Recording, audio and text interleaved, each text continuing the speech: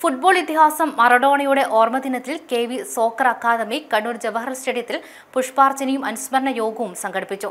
Sports ലേഖകൻ Devdas Thalap Maradona അനുസ്മരണ പ്രഭാഷണം നടത്തി.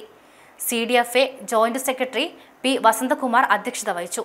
മുൻ Indian football team captain K V Dhanesh മുൻ സന്തോഷ് ട്രോഫി താരങ്ങളായ മോഹൻ അനിൽകുമാർ എന്നിവരും P P Nooruddeen Rajesh Lohi N Mithun Navas P P Sasidharan O Baiju തുടങ്ങിയവരും ചടങ്ങിൽ സംബന്ധിച്ചു.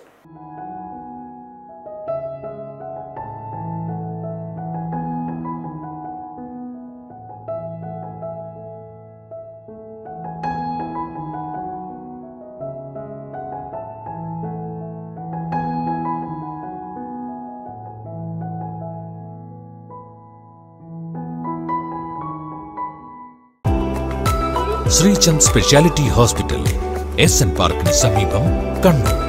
കണ്ണൂരിനൊപ്പം ആരോഗ്യത്തിനൊപ്പം.